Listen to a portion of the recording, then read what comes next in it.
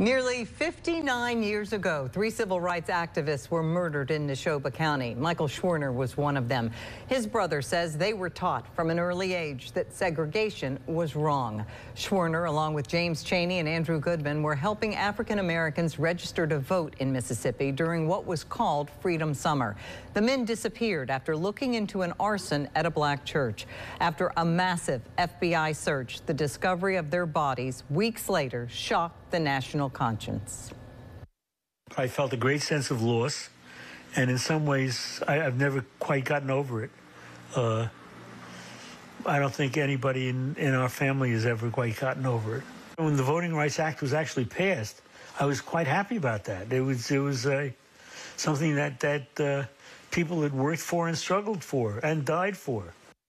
In 2014, Chaney, Goodman, and Schwerner were posthumously awarded the 2014 Presidential Medal of Freedom by President Barack Obama.